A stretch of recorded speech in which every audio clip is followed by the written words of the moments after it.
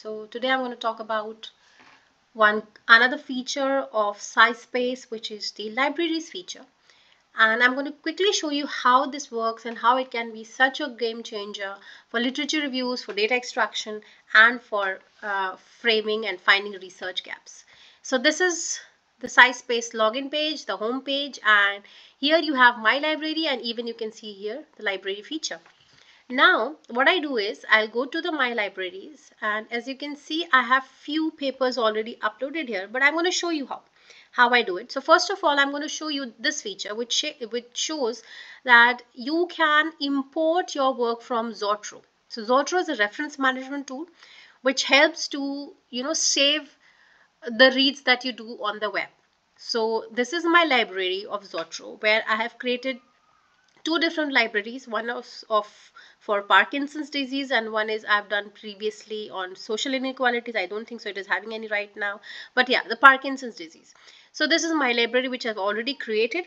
Now what I'm going to do is I can pull uh, the papers directly in, in spite of uploading the paper one by one and uh, uploading the PDFs. Like first I'll have, you need to, you know, save the PDFs to your desktop to your own system and then you have to upload them one by one from here.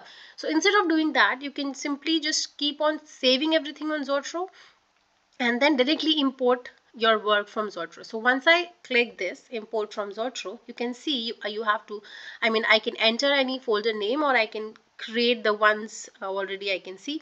So let me just show you how it works. So I'm going to click the Parkinson's disease folder which I had created. It shows one folder selected and it also shows that only PDF files and papers in your uh, Zotero library will be uh, imported, right?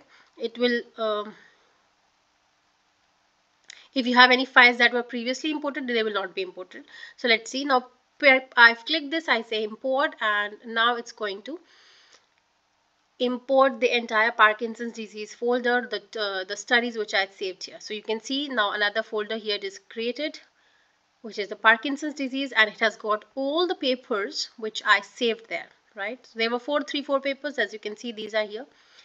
So this is one great way uh, the tool integrates so nicely, so easily with Zotero and your work is all sorted. You don't need to save everything or the papers one by one and download their PDFs directly. You can directly uh, integrate, use it here. Now I'm going to show you how I use it further. So there's this uh, study which I was working lately, which is about the uh, menstruation stigmas in sports.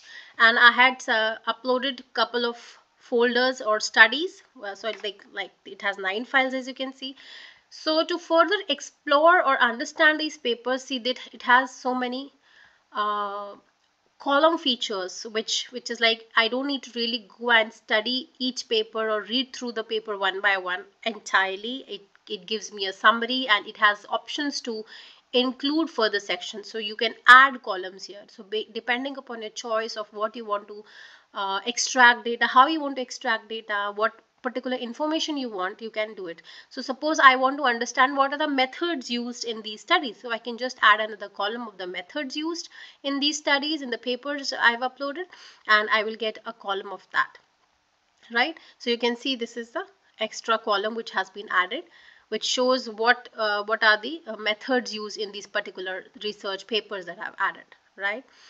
Now you can go further adding papers uh, as per your choice and even if there are some columns that you don't think are mentioned but you feel should be there uh, you can go on adding them. So this is there's already a very comprehensive list but still you can add your own columns. Like i had previously added interventions on influencer factors. So similarly you can create your own columns as well. Uh, another great thing is if i select the entire um, folder which is like I, I'm working on menstruation sports you can go on and uh, the AI here will help you answer your questions so you can directly brainstorm your questions and get some um, detailed insights from these papers collectively through this this library feature so like this if I chat now it says that it is going to now answer me questions from this particular uh, folder itself. So I'm going to ask a simple question like what are the stigma related to menstruation in sports. And just press enter. And oops the sorry for the spelling it's sports. So it will just go through the entire uh, papers which I've uploaded in this folder and it will answer my question. So it says that these are the these are the particular uh, stigmas which are uh, there usually.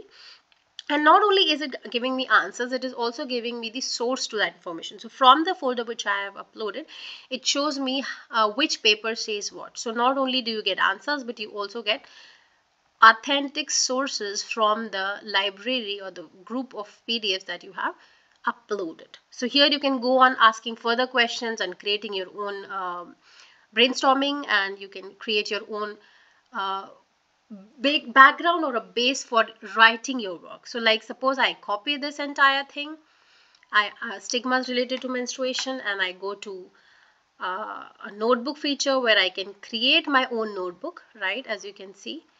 So it says a new notebook okay.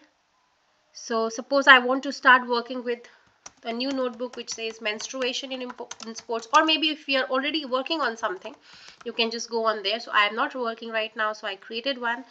Uh, menstruation in sports create generate and see it has already created an outline. Now you can go on refining the outline whether you need these portions or not. Uh, so for now it is okay but maybe i will have to refine them. Yeah but coming to uh, my search which i did so like the cultural and social stigmas.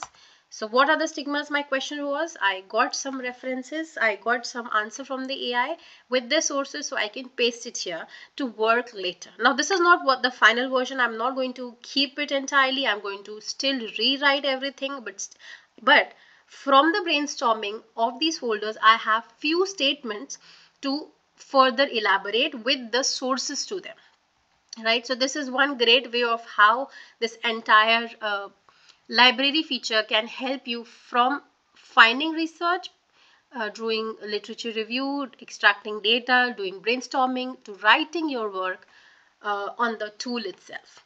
Moreover if you go back to the library and to the search that you have done you also get options to export this particular uh, like you've created this table you see which says the summary, the limitations, the methods used. So you can anyways even export the entire thing as a CSV file or as an Excel file or any other way of file that you want and you can even go on sharing this analysis or data extraction uh, to the other members in a collaborative research or other other researchers which you're working with so that's great uh, of uh, great way where you can collaborate where you can do brainstorming your literature you can extract data you can directly import your work from zotero and i, I find this feature really really helpful and handy.